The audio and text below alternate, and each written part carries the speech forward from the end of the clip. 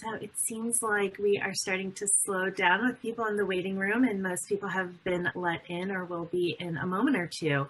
So welcome everyone. Thank you so much for joining us today. We have um, a really great and exciting topic, um, breaking silos, building systems and looking at CCMV and newborn screening. Uh, we really appreciate you joining us today. Uh, just to let everyone know, there is live captioning with this uh, session today. Um, so there's the live captioning and transcription available.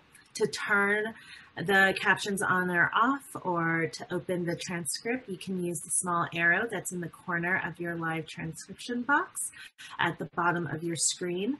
Um, we, as I already mentioned, will be recording and this will be available on YouTube in a couple of weeks.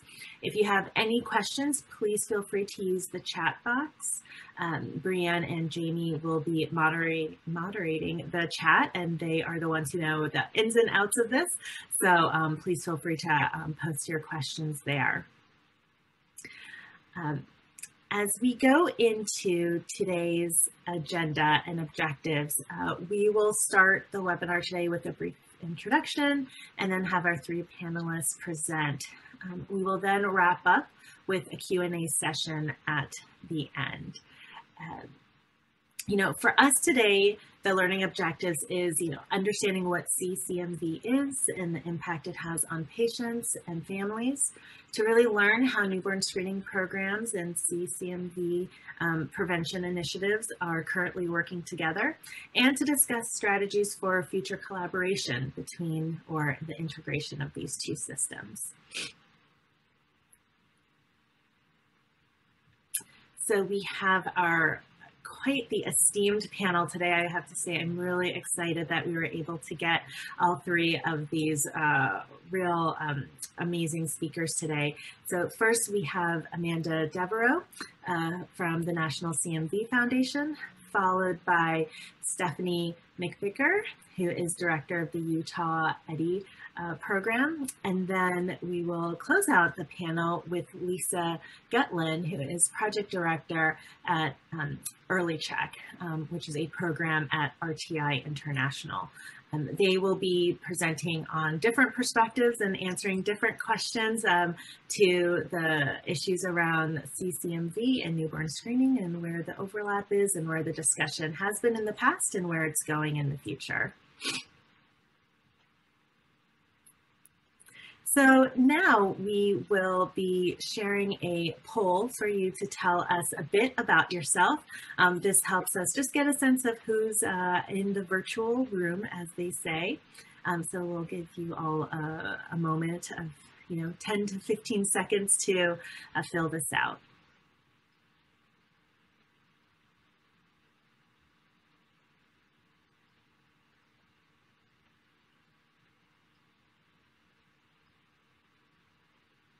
Great, thank you. We have a good portion of people from newborn screening uh, or laboratory representatives, uh, a good number of CCMV or EHDI program representatives. Um, looks like we have a couple parents, a couple healthcare providers, um, some advocacy organization providers, a nice mix uh, coming in, so thank you.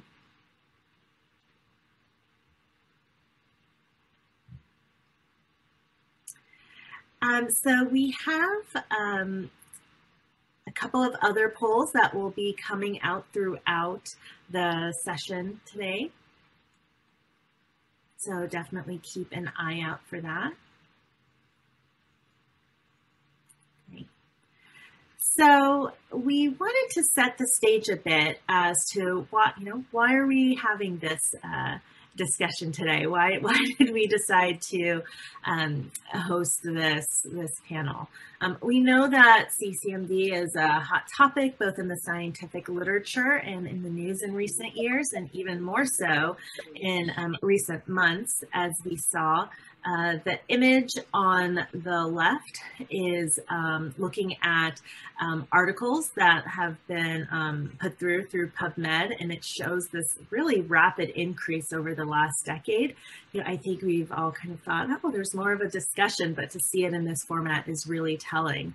Um, and then on the, so that's the scientific community um, increasing its discussion of these topics.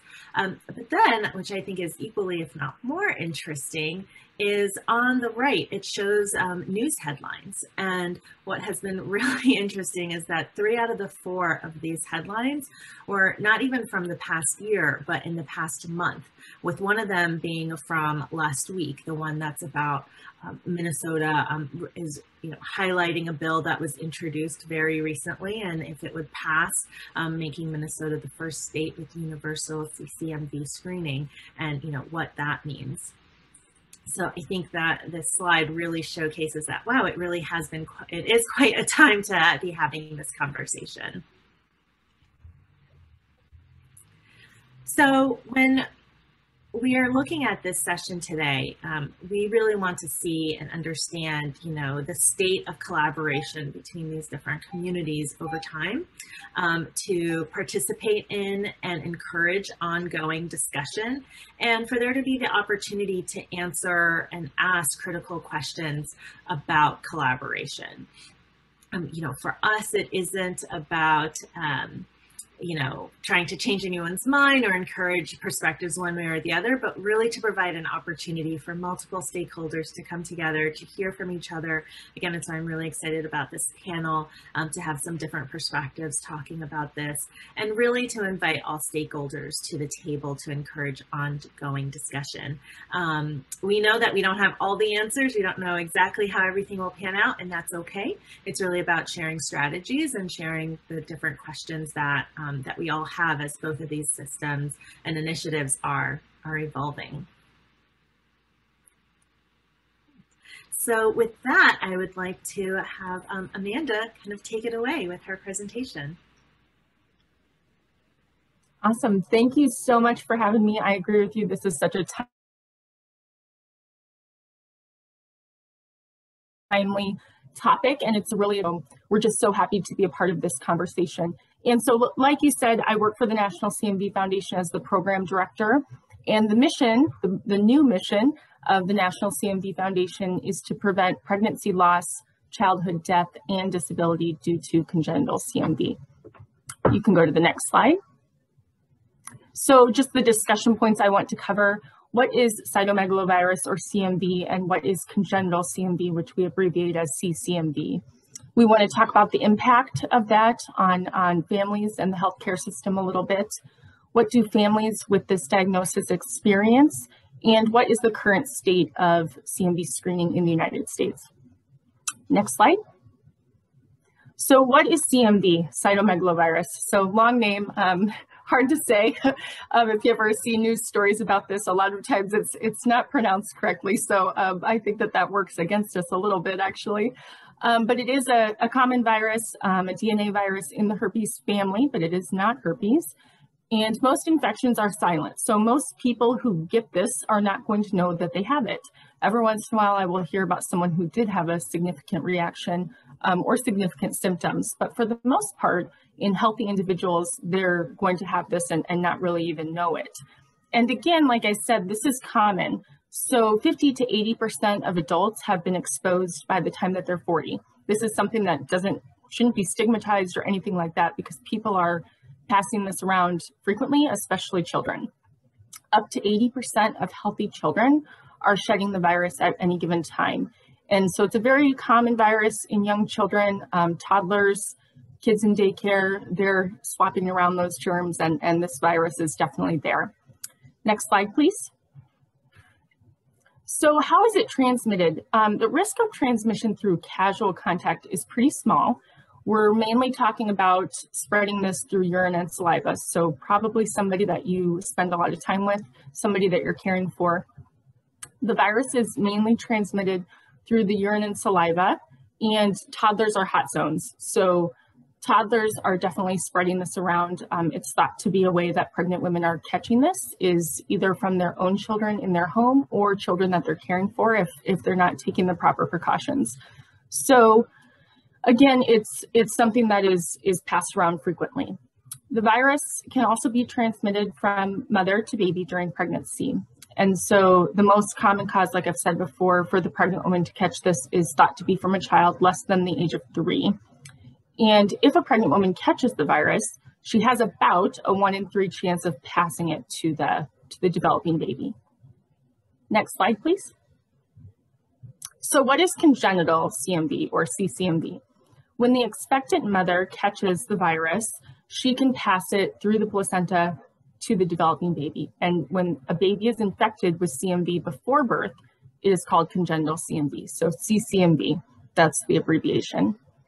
Overall, about one in 200 infants are born with CCMV, and one in five of these infants will have a birth defect or a permanent health condition.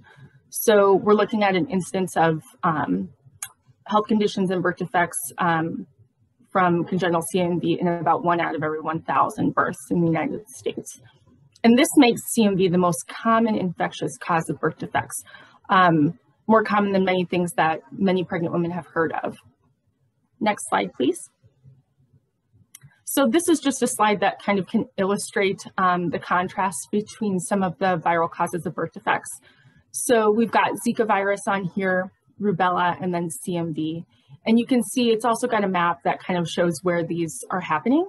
And Zika is really um, situated in South America and, um, you know, the southern part of North America and transmitted by mosquitoes and got a lot, lot of press coverage and a lot of funding for that virus. But um, when the CDC was tracking the number of birth defects caused by Zika, there were about 203 total in the United States in 2018 by, by that point. And I've actually heard recently that, that they're not tracking this um, anymore. So not, obviously the Zika virus was extremely impactful to those who are affected and it is a huge deal and we should be talking about it. But if we go over and look at CMV, we're talking about an incidence rate of um, that is much more frequent, one in 200 births, like we said, and thousands of birth defects caused each year by congenital CMV.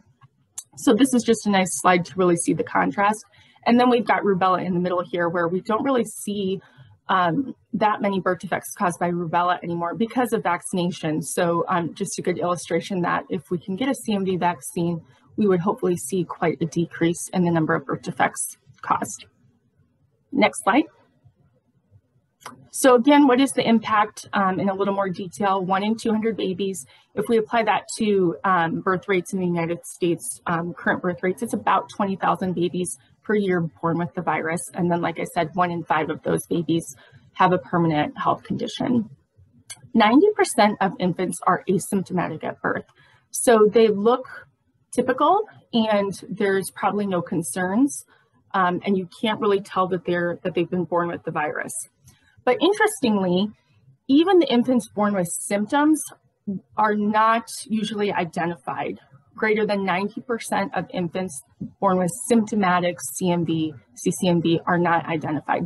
So unfortunately, we're not very good at identifying even the symptomatic children. Like I said, about one out of every five babies born with the virus is going to have a consequence from the virus, and this could show up months or years later. So um, some infants are born, they pass their hearing test, and then years later they may start losing their hearing. And if we um, use the the birth rate, um, the, the current birth rate for the United States, it's about 4,000 birth defects or permanent health conditions in the United States every year.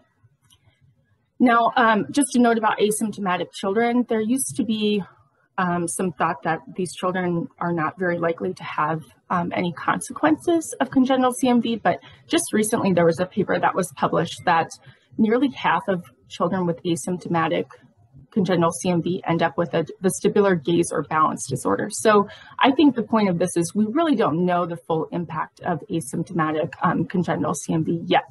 And so more research is definitely needed on, on that. Next slide.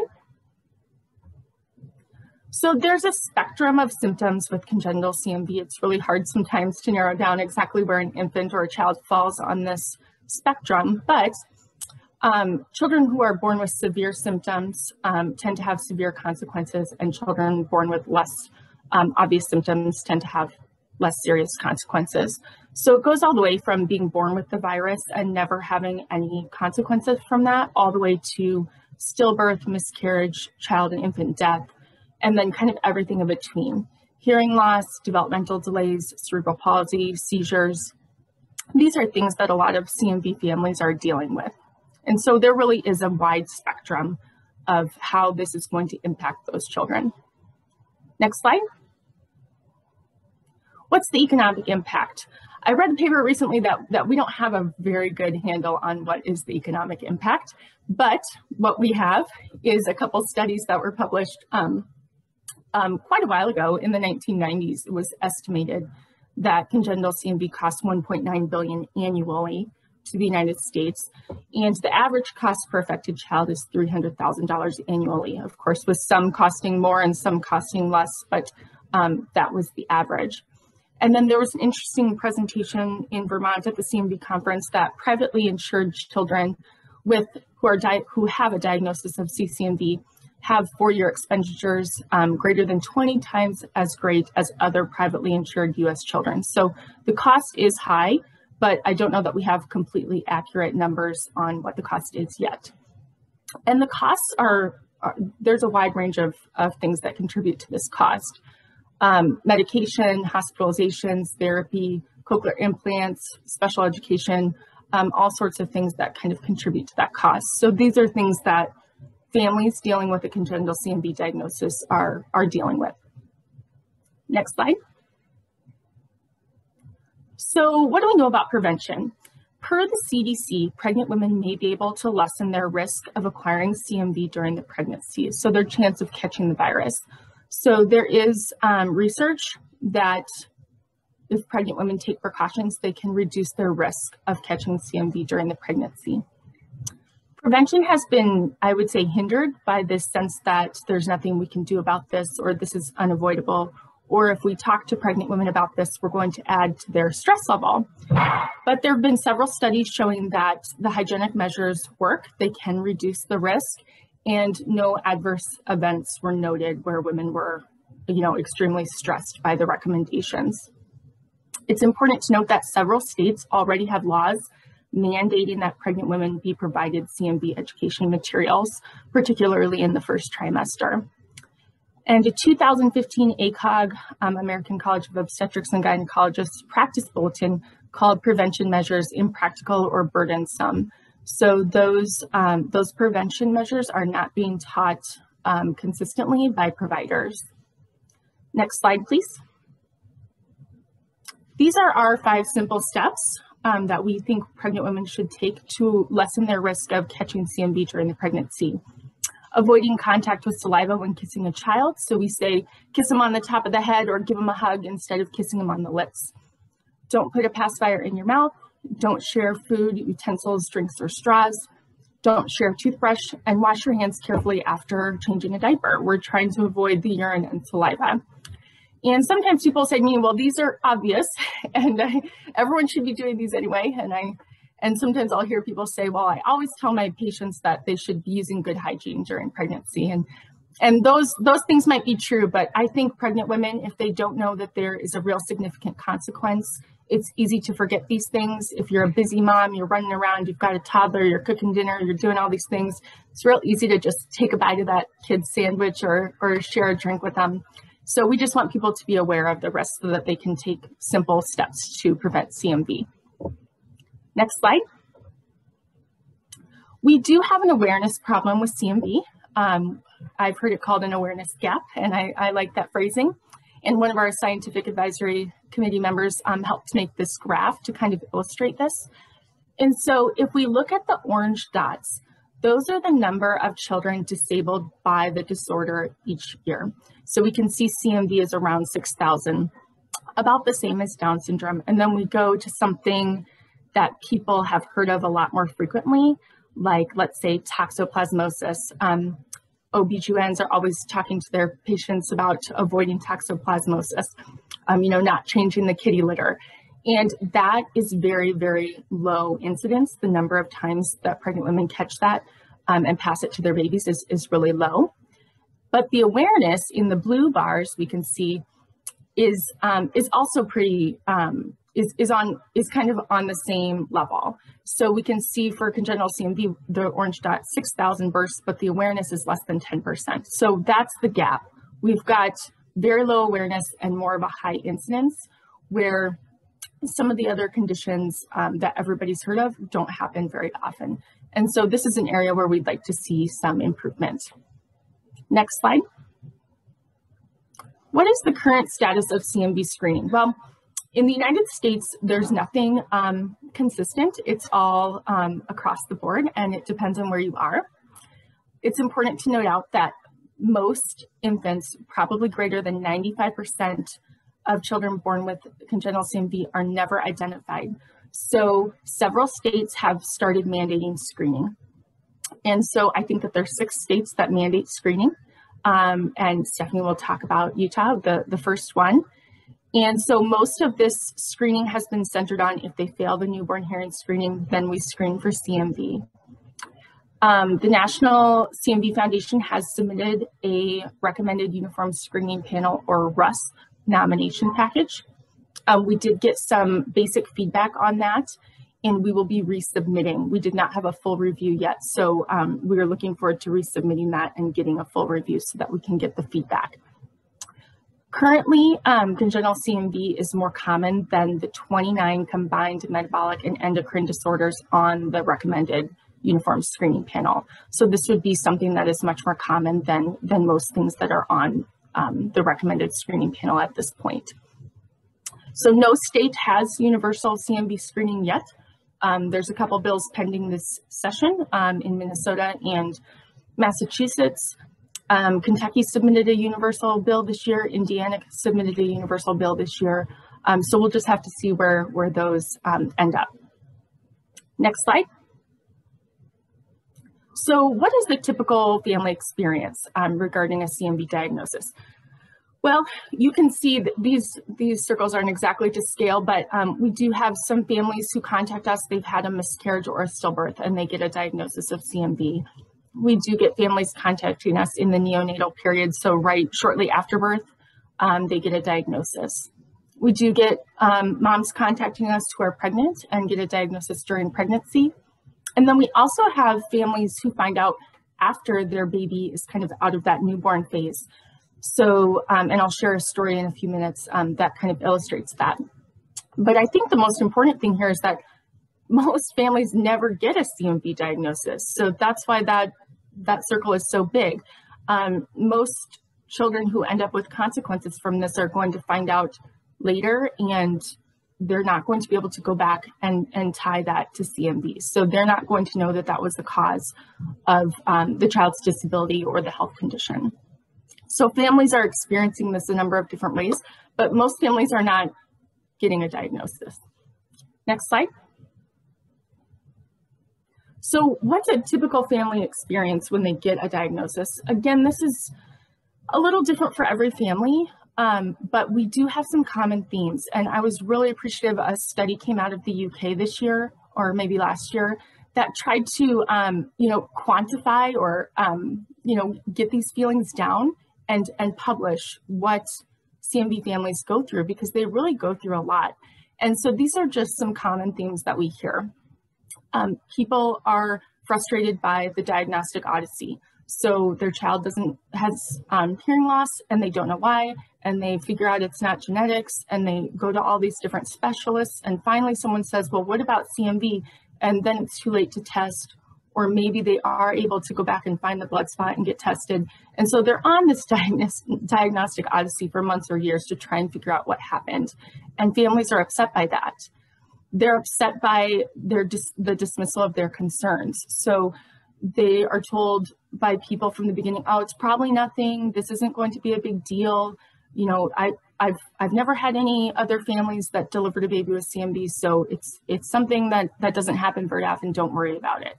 Um, and during pregnancy, if they if they ask about it or if they ask their OB, um, they they get a lot of pushback and, and dismissal. People refer to it as the loss of a dream. People feel really let down by the medical community. They feel like they they should have known about this. They're frustrated because their doctors don't know what this is and they don't know, um, you know, where to direct them and what to do.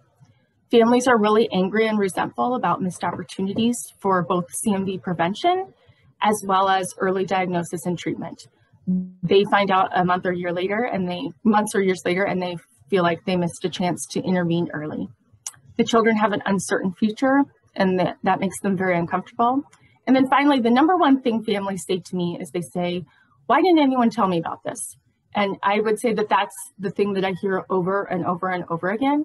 And that's the exact same question that I asked my OB when I was diagnosed during my pregnancy. I said, why didn't anyone tell me about this? I would have, I would have done something different. So I think that that's a really important thing. Next slide. I have a very quick story. I know I'm, I'm running short on time, but I wanted to share Ryder's story um, quickly. And it's important to note he is he was born in a state that has targeted um, CMV screening for infants who fail their hearing screening. So this is a, just a good illustration about um, you know how these kids can be missed. So he was born in July 2018. He passed his hearing screening on the third try, and his mom just is not sure if he really really passed that or not. But he was born with the petechiae, so he had these little spots kind of all over his body, but they were pretty subtle. She asked about it, was told it was no big deal, nothing. He was not tested for CMV. At age one, he had hearing loss, went to a neurologist, had white matter changes on his brain, and the neurologist was the one who said, maybe you need to get the blood spot and get it tested. And luckily, he lived in a state where they kept it. They tested it, and it was positive for CMV. His mom just shared a quote with me. She said, we only got the CMV diagnosis because we pushed and pushed for a cause of the hearing loss.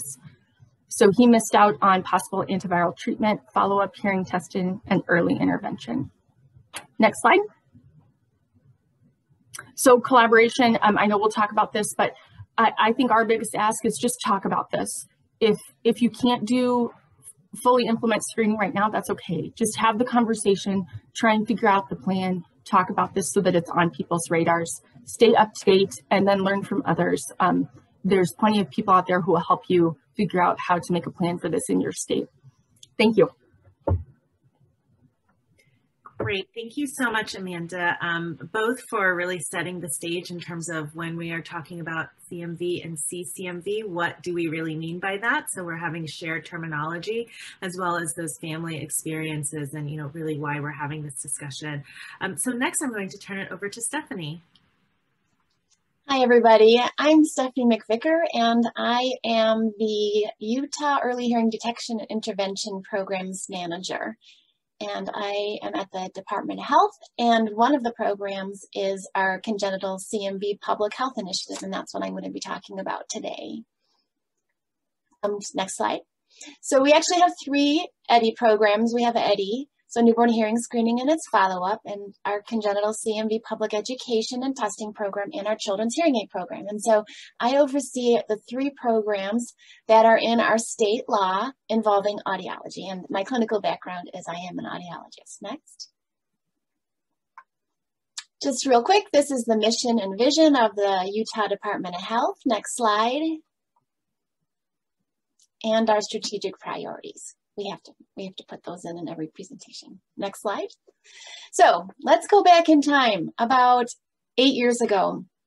So in 2013, Utah passed the first CMV law and it was twofold. It established a public education program and also a testing program.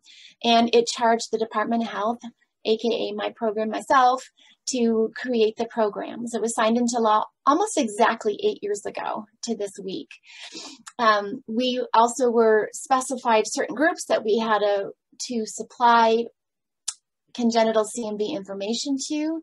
Mostly it was women of childbearing age. Next slide. Here are just some of the large scale public awareness campaigns that I've run over the past several years, we've had billboards across our interstate and in English and Spanish, depending on the area. We've had transit campaigns with awareness ads on the outside and inside of our buses and trains. The, the top left, again, we want to hit our demographics, so we did a lot of advertising in sporting programs for our universities. And the top one was for University of Utah, Utah football program.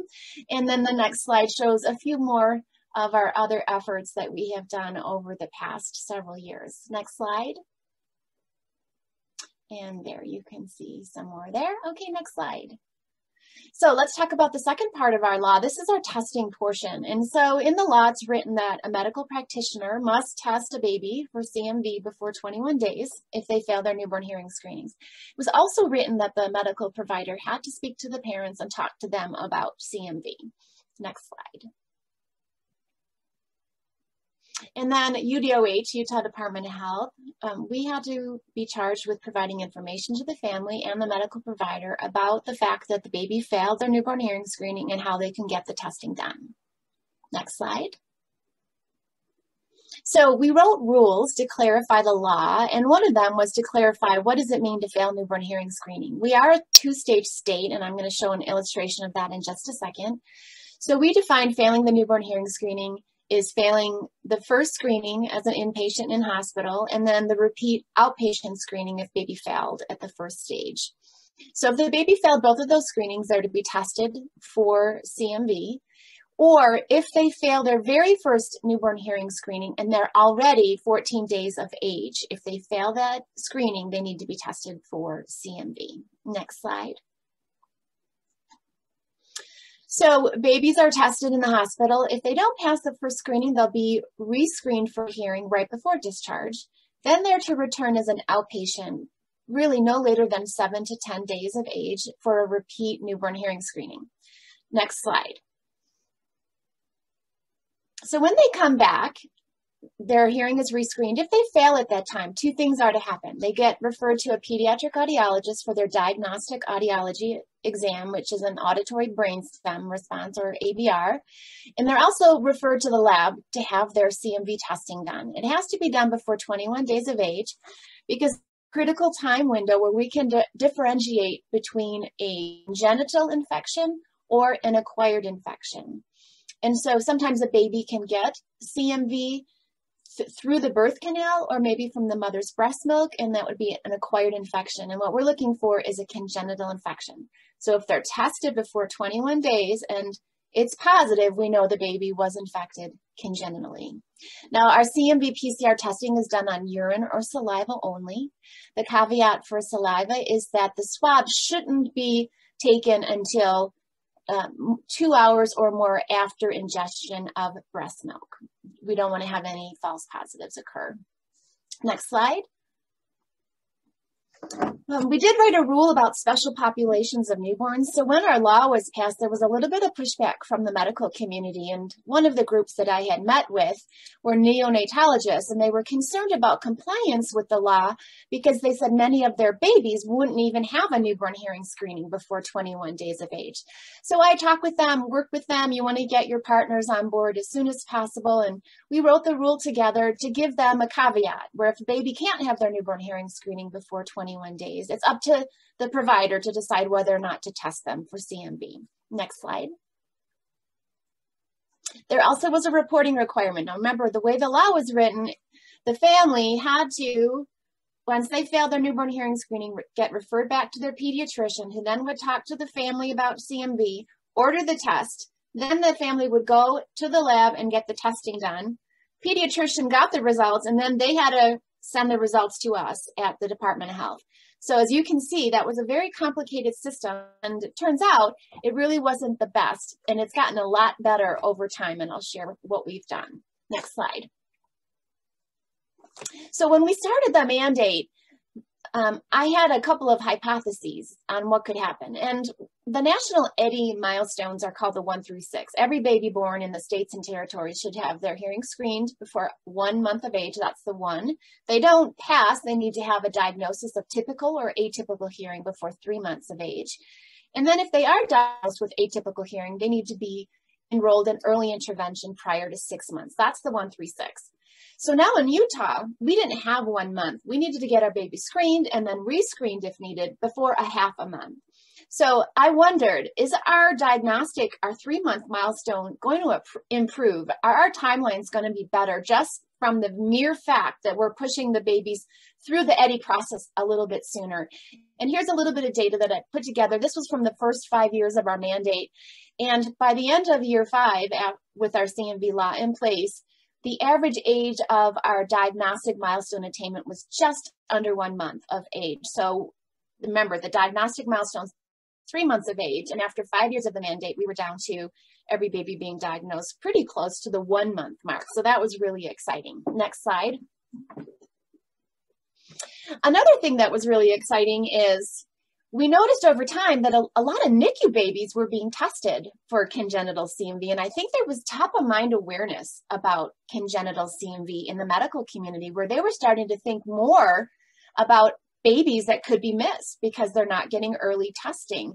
And so we noticed there was a steady increase. And if you click the button, about in 2016, a group of, go ahead and, there we go, there was a recommendation, a best practice recommendation put forth to the neonatologists about testing NICU infants if they had any of these criteria. And again, this will be recorded, so you'll be able to see that in more detail. But that was really exciting. We started to see more testing being done unrelated to failing newborn hearing screening. Next slide. Uh, one of the challenges is, and it's still a challenge, is trying to get babies born out of hospital to have their CMV testing done. And over time, um, it it showed improvement, but we're still making slow and steady gains. It's not where we want it to be. And when we speak with our midwives, uh, one of the barriers that they continually talk to us about is the cost because many of their clients are not insured. And CMV testing is not paid for by the state, so that can be a barrier, and their parent, um, their patients aren't willing to to pay for the test. It's it's out of their realm of economic situation. And what I put on there about the 90% for newborn hearing screening is it took us 20 years in Utah to get 90% of our out of hospital birth infants tested for hearing. Um, but I I can't wait that long. These babies need to have that testing, so we're continually still working on that. So next slide. Um, just to let you know, for the first five years, we were pretty split. Half the babies were tested by saliva, half were tested by urine. Um, in the past three years, there's been an increase in urine testing, and now we're about 79% of our babies do just have urine testing versus saliva. Because our saliva tested babies, we do do a confirmatory urine just to be sure that the, the baby's positive and there wasn't any sort of in, interference from breast milk.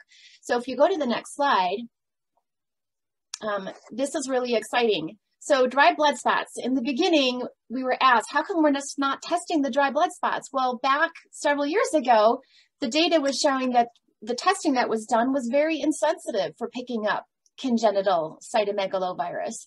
And so it wasn't a viable option at that time. But since then, there's been wonderful researchers that have been working on this. And actually, Dr. Sheila Dollard and her group from the CDC, in conjunction with the University of Minnesota, they've been studying dry blood spots. And this was just published last month. And if you click the button, they found a much higher sensitivity. It wasn't 30%, it was more like 86%. So it's very exciting for possibly having universal CMV testing. That's going to be a wonderful tool. And I just want to say we have a, a really great relationship with our public health laboratory. They're awesome. And if we have consent from the patients and the parents for the babies, if a baby is tested for congenital CMV and for whatever reason it wasn't done within 21 days and they test positive. So let's say the baby's two months old and they test positive. Well, we didn't meet the 21 day window. With consent, we can, we can, um, sorry, I get distracted when there's a chat coming up. Um, we can send it to the lab and they will send the heel stick and we will test it for congenital CMV. And several times we have picked up positive cases by utilizing that partnership. So that's been a wonderful thing. Next slide. And I just wanted to show you, you know, there definitely was a ramping up time on the mandate. You know, in the beginning, some providers thought it was optional, the testing, and it took a while for people to get on board. But now we made very nice progress. Really, within the first three years, we were up over 90% uh, of the eligible babies being tested. And if you go to the next slide, I'm just going to quickly hit um, I know I'm almost out of time, a couple of essential things that really helped improve the process for families were we had a dedicated CMV data coordinator who who tracked down the babies. We ran weekly reports to find out who was eligible that week. She would reach out to the families and she would reach out to the primary care providers to facilitate the testing. We also created a standing order. We didn't have to go through the process that was created in the beginning, where when the baby failed newborn hearing screening at the time they became eligible, we have a standing order where that family goes right to the lab and gets it done. And if you go to the next slide, it shows you an example of our standing order. It has information for the family. It has all the correct lab ordering information on the bottom, making sure that it's either on saliva or urine. And it also at the same time orders the diagnostic ABR. Okay, into the home stretch here. Next slide. Um, we've done CMV report cards. We do them on an annual basis so hospitals know how well they're performing. If you click, you can get through a couple more images of some of the data that's provided to the hospitals. Next. Okay, and next slide. Um, we, we can skip through the basic, the, the, the point of this slide was that there was a large hospital corporation where they were still struggling with their babies getting tested on time. And so we did reach out and work with their corporate compliance office and they put protocols in for all of their hospitals. They even put our standing order and electronic medical record and it really made all the difference to move the needle in getting these babies tested. So just an FYI as an idea. Next slide. So this slide shows the number of children we've identified. Basically, we identified two per hundred of every baby we test based on the failure of newborn hearing screening. And so the orange bars show the number that have been tested only because of our mandate. The blue shows the ones who have been tested for some of the NICU protocols. And then this huge spike that you see in 2020 is because we created a high risk testing protocol and it started being enacted by several of the hospitals right at the end of 2019. And so many more babies were tested by hospitals following the protocol that you can see there was a huge increase of detected congenital CMV cases. Next slide. And this is just a copy of our protocol. And if you click again, you'll just see the risk factors, the 11 risk factors that are on our sheet. So next slide. Okay, so a couple of highlights on the last slides here. Congenital CMV is now a qualifying diagnosis for early intervention in our state. We also have found a better way to get lab testing results. So automatically any baby who's under one year of age that's tested for CMV, we will get a copy of the results. And like I mentioned before, there's increased overall awareness about congenital CMV in the medical community. Next slide. And um, we also now have a multidisciplinary congenital CMV clinic, a one-stop shop for our families to come, where they get to see ENT, neurology, infectious disease, ophthalmology, audiology, all in one place. Next slide is my contact information, and I'll be here for questions, but we, we don't have a lot of time, so please feel free to reach out if I can be of help to you in any way. Thank you. Thank you so much, Stephanie, for uh, not just talking about where you are today, but what it took to get here. Um, and with that, I will pass it along to Lisa.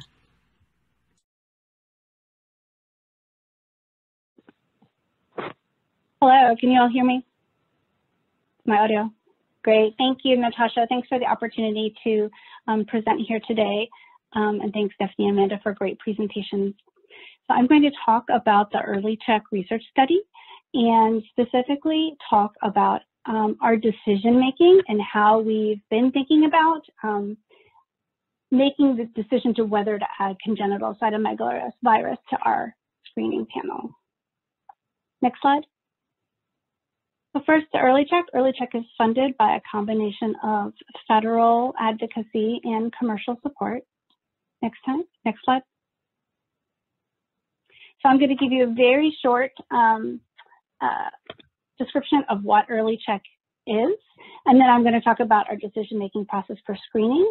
And I'm going to um, make sure to end so that we have um, five minutes at the end at least for questions. Next slide.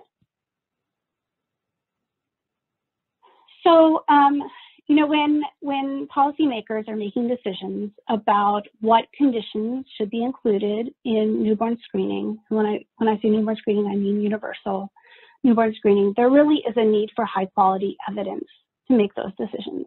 That's particularly the case for some of the um, conditions included in newborn screening that are quite rare. Of course, CCMV um, is much more common, as um, Amanda um, talked about, but there really is, um, in order to make important decisions about screening, there needs to be high quality evidence. And we proposed and built the early check research study as one solution to that problem. And we intended to be a research infrastructure that will allow research um, to inform policy for different, many different types of rare conditions. Next slide. So Early Check is a North Carolina partnership. Um, I uh, work at RTI International, which is a large nonprofit research institute. And the North Carolina partnership with the North Carolina State Laboratory of Public Health, where standard newborn screening is completed, as well as the divisions of public health in our state, as well as the University of North Carolina, Chapel Hill, Duke University, and Wake Forest. And it's a research study. So unlike um, in Stephanie's presentation talking about targeted screening, this is a research study and it's not part of public health newborn screening. But a research study is designed to try and develop and evaluate methods to offer screening, um, volunteer screening of newborns for panel conditions that are not on state newborn screening yet. And we really would like to acquire data that will inform um, newborn screening policymakers. And we really envision this as a long-term resource where conditions could come on and off the panel and possibly for an envisioned future where states might offer a voluntary panel of non-RUSP conditions. So perhaps we could be a model for states that might ultimately um, choose to implement something like this. Next slide.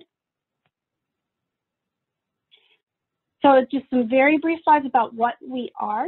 We have multiple methods of low touch statewide outreach. So we have very little direct interaction with participants recruiting. The um, North Carolina Division of Public Health sends a letter to every birthing mom introducing them to the study.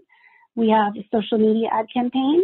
We have um, information in healthcare settings, and we are also inviting participants um, to enroll their newborn in um, through patient portals at UNC and Duke. And then we actually did very recently start some in-person recruitment at both Duke and UNC. Next slide. So just like we have low touch outreach, we have low touch consent. Consent is obtained um, purely through an online portal and we talk to very, very few of the moms who um, enroll their newborn. Of course, they have ways to contact us, but we talk to very few of them. Next slide.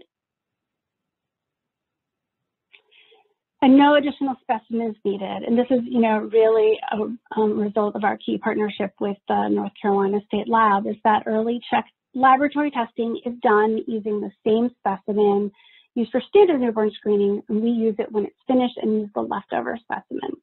So really this allows us um, to have the really large scope that we hope to have, this large statewide scope. Next slide. And then although we don't talk to most moms who enroll their newborn, obviously there's a lot more engagement with um, babies who test positive and there's confirmatory testing and follow-up through our clinical partners at UNC and Duke. You can see here, these are the three conditions that are currently on the um, early check panel. Next slide. So all newborns in North Carolina are eligible um, you can see we have a really nice statewide spread. We also have some um, babies from South Carolina, primarily um, moms who are coming to North Carolina to give birth, for example, in, um, in Charlotte. And since we launched, we have over 13,500 families that have enrolled their newborn in early check. Next slide. So how do we decide what to screen for? So this was, um, we first started talking about this in 2016, 2017 originally. We knew we um, wanted the panel of conditions. We had ideas of what we wanted to screen for, but we wanted a process that was not arbitrary, but that was instead um, transparent and um, based on a set of established criteria so that we could then make decisions in the future for other conditions. Next slide. So these are our criteria. They look very similar to some of um, the criteria that policymakers use for standard newborn screening. We wanted serious um, conditions, childhood onset, um, some sort of um, certainty that there might be a net benefit for the child and family. And then we needed a test that could be performed on dried blood spots because um, we used the Lexer dried blood spot from the state. Next slide. And then finally, we had some practical considerations, really things like, you know, do we have the clinical expertise to perform follow-up? Do advocates support screening for a condition? Um, to like, you know, what research questions do we want to answer? And then, you know, finally, just whether funding was available for that particular condition. Next slide. So we had a process where we um, had a large um, group of disorders that had established um, dried blood spot assays. We compared it against our criteria and came up with some candidates. Um, you can see some of them here. Next slide. So congenital cytomegalovirus, so we considered it at the very beginning. We um, thought it was a good candidate. It would be an infectious etiology, which really would demonstrate um, sort of diversity in our panel compared with other genetic conditions. The, um, there have very recently been publications in New England Journal about the treatment, early treatment um, of children with CCMV with antivirals. Um, but, you know, we really were concerned because the dried blood spot assay was not optimal. Um, really, the preferred specimen type was saliva and or urine, and we just, we were not going to be collecting those specimens. And then we are also worried about how many babies would we, we would identify. Next slide.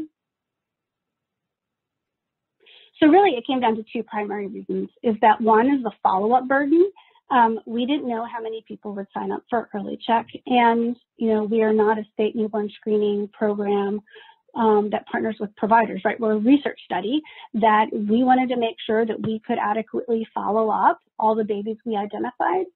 Um, and we were concerned that we wouldn't be able to do that. And then secondly, that there was not a great test in red blood spot. And it just, um, for those two reasons, we decided not to include CCMV at that time. Next slide. So these are some future conditions. You see congenital cytomegalovirus. We are not screening for CCMV yet. Um, I guess the other conditions that are the closest in the planning stages are the, the bottom one, the chromosome 15 conditions.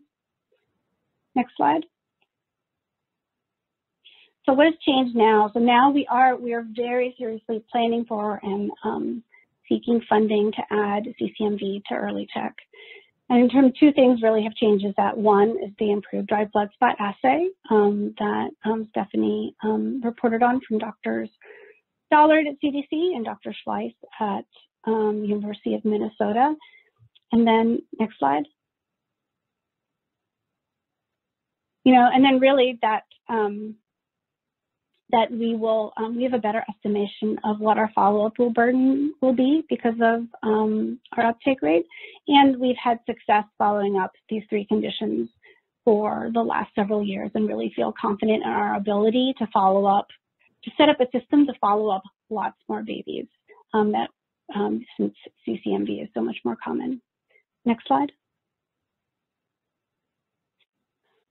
So just briefly, because I want, do want to give us um, chance for questions, but you know, this decision making has been in the context of re a research study, right? And our intent is that, you know, we will generate evidence that will inform um, universal newborn screening.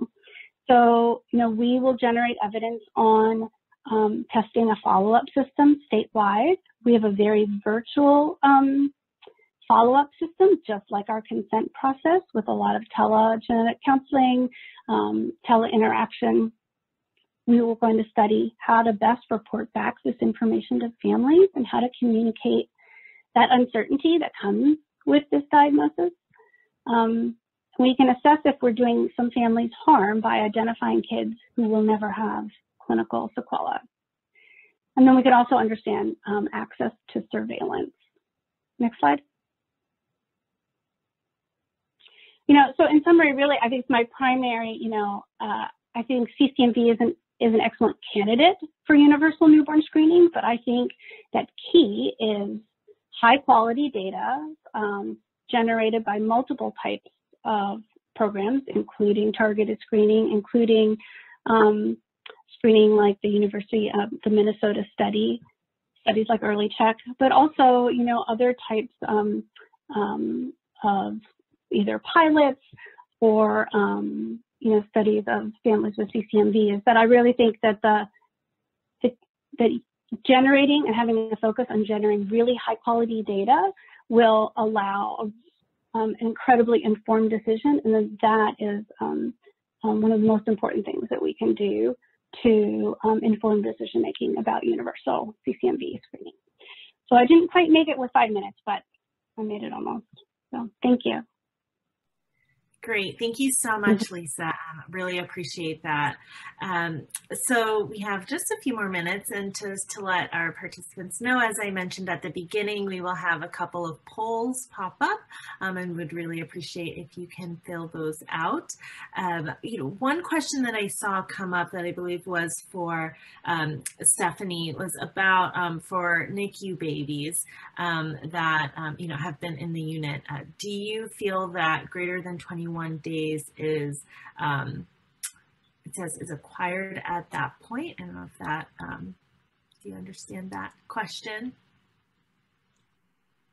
This is Stephanie. We have come across some babies who have acquired um, CMV in the NICU.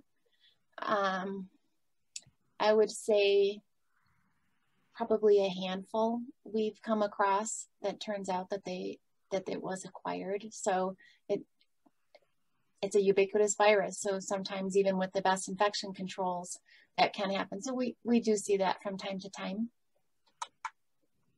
Great, thank you. Um, one question that um, you know we've been thinking about and would love the thoughts of all of uh, the panelists is you know what does success look like for collaboration between CCMV initiatives and newborn screening programs? And I guess with that, I will start with Amanda and we can just go down the row.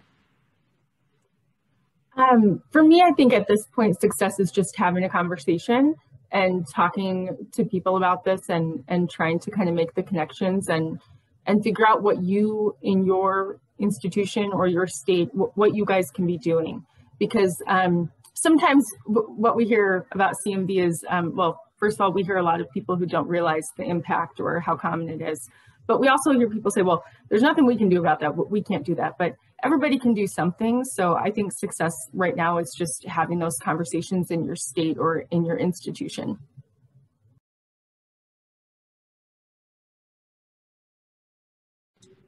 Okay, so for me, collaboration is all about communication and just um, making sure we all know what the other person is doing. And so, for example, it was a perfect fit to be part of the EHDI program because it was tied to newborn hearing screening and has such a large association, unfortunately, with childhood hearing loss, congenital CMV.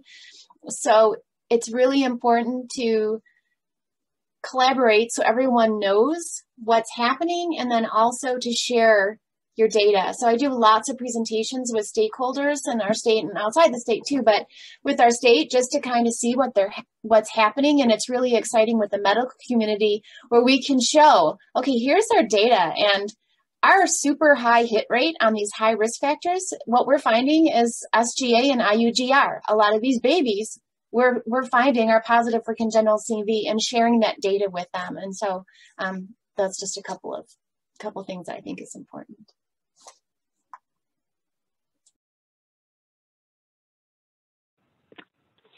You know, um, you know, you asked about collaboration, and I think um, I, I, do think that Early Check is a really great example of public health and researcher collaboration, right? In that we it is a research study, but we are partnered deeply with our state, uh, the state institution that does the newborn screening, and um, you know, I think um, it it really has um, benefited the study immensely um, that we're able to have that collaboration with them. Um, and I think, you know, in the larger scheme of things is that having those sorts of connections between researchers and public health will really allow um, will allow this effort to move forward and to make decisions on whether um, whether targeted or universal screening um, is right for that particular um, a particular situation. Great, thank you so much. Um, and with that, we will close the session. Thank you to our presenters for, I, I feel like we could probably go on for another hour talking about this. And um, so um, really appreciate your comments. Um, thank you to everyone who responded to the polls.